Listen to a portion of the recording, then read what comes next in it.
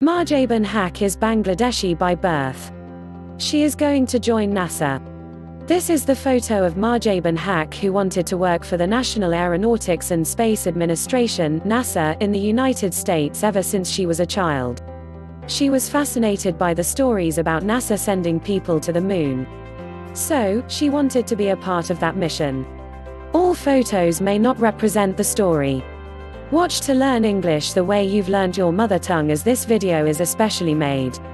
Mahjabin Haque is a young woman from Bangladesh. She spent her second stint as a NASA intern earlier this year. It coincided with the 50th anniversary of the Apollo 11 moon landing. She graduated as a computer science engineer from Wayne State University's College of Engineering in Michigan. She will join her dream job as a space system software engineer at NASA's Johnson Space Center in Houston, Texas. For over 50 years, NASA's Lyndon B. Johnson Space Center (JSC) has led the US and the world on a continuing adventure of space exploration, discovery and achievement. Mahjabin's joining on October 7 marks a watershed as women from Bangladesh taking up NASA job is few and far between.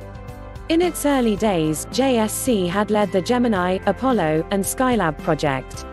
NASA's largest research and development facility now serves as the home of Mission Control, leading international space station operations and missions, and numerous advanced exploration projects. Her family's winning a diversity visa, popularly known as DV Lottery, back in 2009, brought Mahjabin, her banker father Syed Enamul Haq, her mother Ferdowsi Chowdhury and only younger brother Syed Samuel Haq to the US from their hometown Sylhet in Bangladesh. Samuel currently works in the US Army. Mahjabin, who currently lives in Michigan with her mother and brother, is now passing busy days packing to relocate herself to Texas on October 5 to join NASA.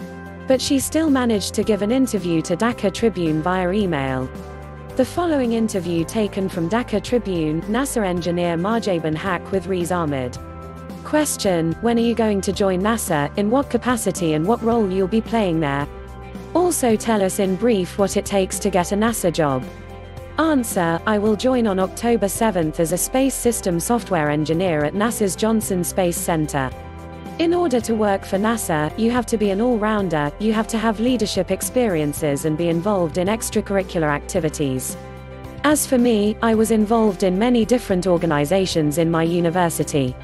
I was the president of the Bangladeshi Student Association BSA, a dance choreographer for BSA's cultural events, and also the vice president of the Association for Computing Machinery's Council on Women in my university. NASA is more than just astronauts.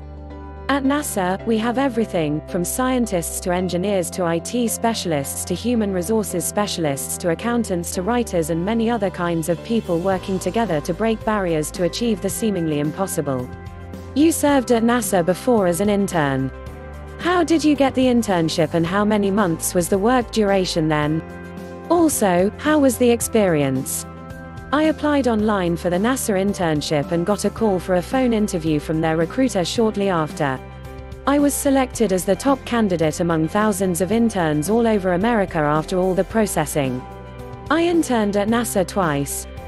First one was as a data analyst between January 2018 and May 2018, when I conducted data analysis of the engineering directorate's IT infrastructure and associated processes. During those four months, I was featured as NASA's JSC Intern of the Week. I also joined the Intern Student Council and was elected Video Committee Chair. As chair, it was my duty to organize and produce a video encapsulating the NASA internship experience. This project allowed me to take a closer look at the people behind NASA, and I found myself inspired by their diverse backgrounds and expertise. The second one was as a software engineer intern at Mission Control Center MCC between January 2019 and May 2019, where only employees with high-profile badges are admitted without an escort. My work directly supported the International Space Station, and I was responsible for software design, implementation, testing, maintenance and user support. MCC is the most important and highly secured building of NASA, because this is the control room for all the rocket launches and important mission support.